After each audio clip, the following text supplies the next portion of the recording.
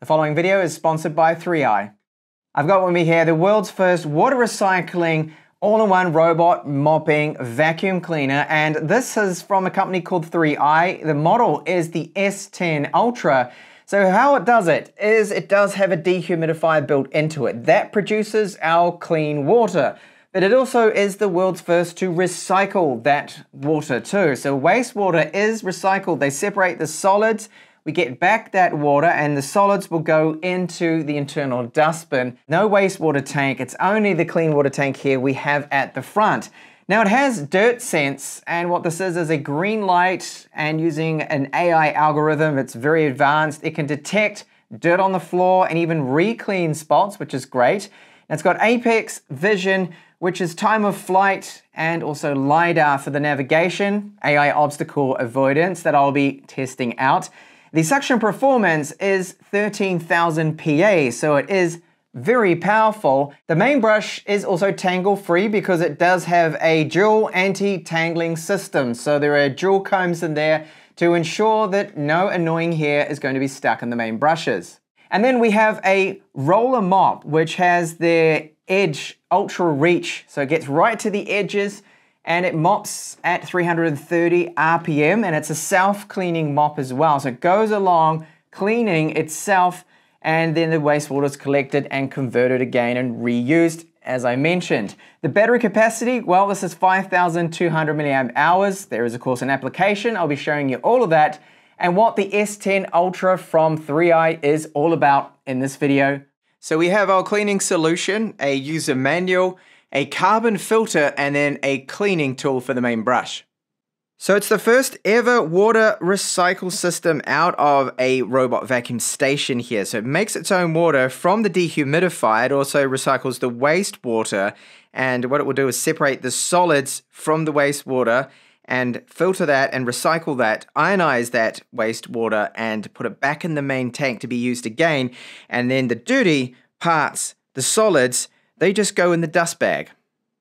It's located right here, very easy to get to. So you simply pull on the bottom and then you find our dust bag. Now it's 2.5 liters and it can hold up to 60 days of debris.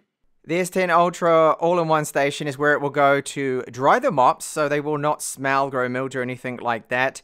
Refill its water and also empty out that wastewater. It's all done here and of course charge it. And you can remove this bottom portion, just pull up on these two tabs that does come out for maintenance. So this lid does lift up here where you can gain access to where the water tank is to remove it. There's some buttons to manually control it on the side so you don't always need to use the app which is handy. The cleaning solution that is installed on the left here, there's a little button, you press that and it pops open and that's where you install it. This is our clean water tank, so there is a little release here on the lid, so you just need to push that in, it opens up, and you'll find that is where our carbon filter goes right there. So the water that's in this, so far what I've managed to get, this is overnight, is all just from the dehumidifier. That's its own water that it's made itself, so you don't have to fill it up. So there is a filter on the back of it. This is for the dehumidifier part that you eventually will need to change, but the app will let you know when. Then for the navigation, it is using ultra long range time of flight LiDAR, 3D SLAM technology, and dual line obstacle avoidance. And yes, you can issue voice commands to it because it does have Google Assistant and Alexa support built in. S10 Ultra's internal dustbin is easily accessible. Not that you really need to go here because it already has auto empty, right? But if you do need to, you can just remove the top cover. It's held in place by magnets, and here we have that dustbin. And if you just press in on the tab here, you're able to remove it. So the wastewater tank is located at the rear of it. This is what it will empty out into the auto clean all-in-one station that it has. Now, now and then, of course, you will have to get some of the debris that builds up inside this because it's constantly cleaning that roller mop that it does have. So pinching either side, you can simply just pull this out like so. It comes right out. And you can see that we have the empty nozzle is located right there. And this is the refill nozzle. And we have the charging contacts there either side. When it does detect carpet, it'll lift the mop up 8mm and it can handle climbs of 25mm and it has a 15 degree climbing ability. And its dual side sweeper brushes here are designed specifically to bring in the contents to the main brush here, but also not get hair tangled in them. 360 degree wheel at the front, carpet detection sensor, and then the sensors along the side do detect falls, so it knows that it has a stair in front of it or stairwell and won't fall down that. Pretty standard. Let's get on to, of course, how it works and my thoughts on it. So Apex Vision, that it's using a depth time of flight and LiDAR system. It is very good at getting around. It sees where it needs to go and it will go around chairs. It'll go, of course, and clean around the edges of everything and under beds. Now, the obstacle avoidance, I want to get onto that at the start here because I found it to be very good. And as you can see now that it went around a child's toy, a sock, a cable and a shoe, no problems. Now there's a lot of the robot vacuums that I test out, their obstacle avoidance, uh, let's face it, some of them are hopeless, that they will end up just riding straight into something and end up eating the cable. Now that didn't happen. It saw everything there and occasionally it would like bump into the cable a little bit, but it didn't end up getting stuck in the main roller and it, that is the main thing. So the obstacle avoidance does work exceptionally well with our S10 Ultra. Now the mopping performance is really one of the key areas of why you would go for a robot vacuum cleaner all-in-one system like this.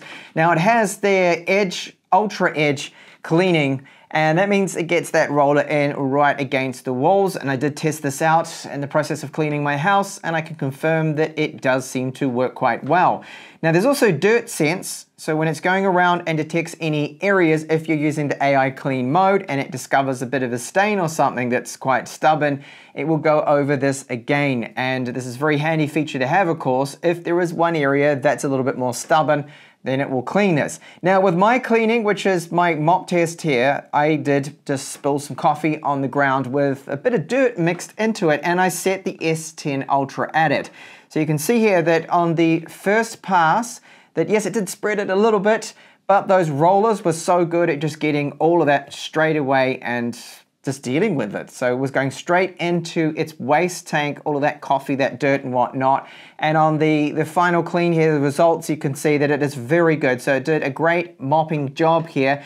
Now there's a couple of little specks, you can see those tiny little black dots. Those are in fact chips in the tiles. So of course it couldn't get that, but excellent mopping performance from the S10 Ultra. And then the vacuuming test that I do, this is on a rug that I laid down some cat hair, some cereal, there was some dust too as well and long human hair, which is always a bit of a problem, but we have the anti-tangle system with this. So there's a dual comb set up that is supposed to stop uh, the hair getting tangled. And we'll first do the clean test and see the results. You can see that it's doing really well. Now, 13,000 PA is how powerful it is. And I'll give you a sample of what it sounds like when it's in action because it's rather quiet for this kind of suction performance, as you hear.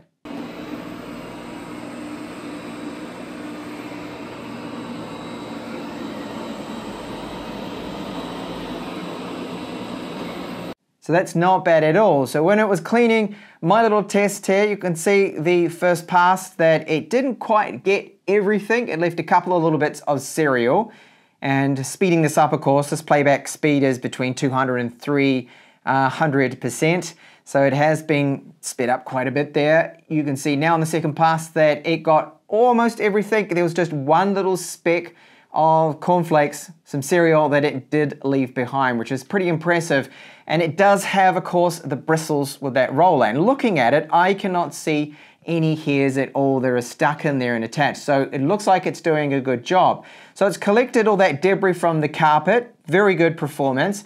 But what about the auto empty feature that does have? Of course, this all-in-one station is going to suck out that content. So this is the before. You can see it's full of hair. So that's where all the hair's gone. It's not stuck in the brush, but is it's in the dustbin where you want it to be. You can see the dust and, of course, those cornflakes. And now the after. But before I show you the after results, let's have a listen to how loud it is when it does empty out that dustbin, which, by the way, the emptying process here, that suction performance is 17,000 PA, which is also very high. Start collecting dust.